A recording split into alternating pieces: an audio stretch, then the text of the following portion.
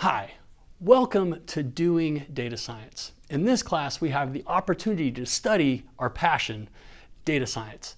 So let me tell you a little bit about my background. Uh, my name is Bivin Sadler. I graduated in, uh, from Texas Tech University with a degree, a bachelor's degree of science in mathematics. And then I worked for Motorola for a couple years out in Phoenix. And then I decided to move to California.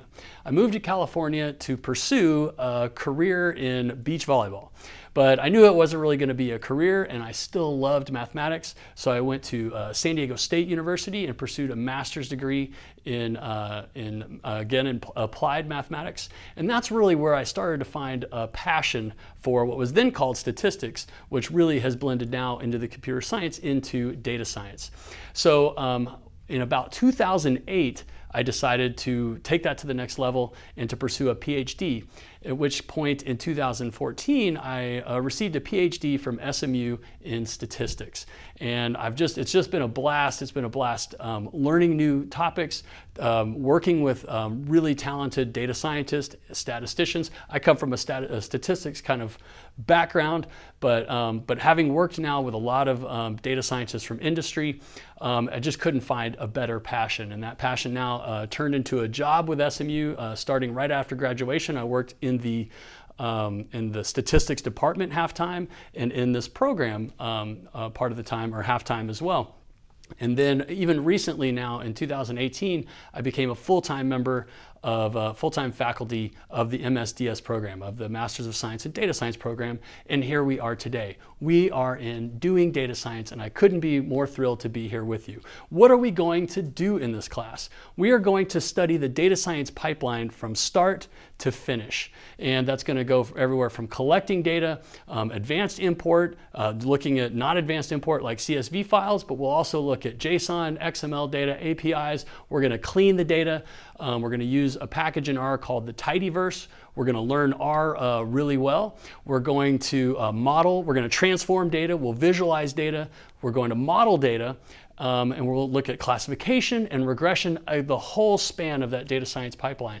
And then the last piece of that data science pipeline is to deploy those models, to communicate. And we're really going to practice along the way presenting. As we hear from data uh, from industry professionals and data scientists, um, we're actually going to interview a lot of those along the way. We'll interview um, professors, we'll interview industry professionals, and what we've seen, we're going to get a lot of information from them. But one reoccurring theme is can the data scientist explain what their model was? Can the data scientist convince me that they know my problem and then when they've solved my problem or done a lot of analysis, can they help me understand what that analysis and what that conclusion was? And not only that, we'll come up with um, tools like R Shiny that will allow us to create dynamic apps that will let our users actually experience our analysis and can answer some of their own questions by saying, if we change this or change that, how does that affect the outcome? So just there's, there's so much to study. And in this course, we're going to study the breadth of all that so that at the end you can really practice data science.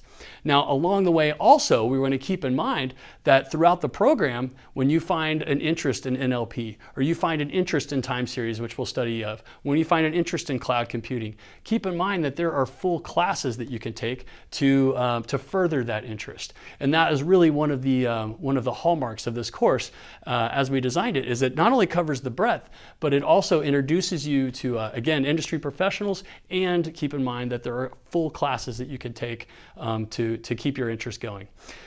So, um, one last thing uh, as, as we go along here is that uh, the way we've designed this course is also um, to provide you the opportunity, provide us the opportunity to work together as we're coding. I'm going to be doing a lot of coding um, in our async sections, and all of that code, or most all of that code, is in an R Markdown file so that you can code right along with me.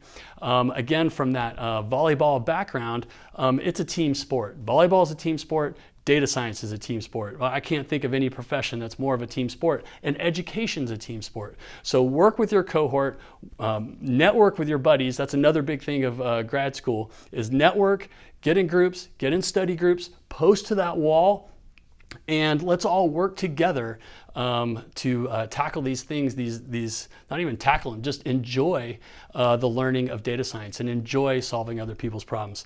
So um, Once again, I couldn't be more thrilled to be here with you in this course. Um, we're really proud of the way uh, of the way our course turned out here, and really excited to uh, to kind of show you the way down the data science road. So let's go ahead, get started. I'll see you in Unit One. Great work.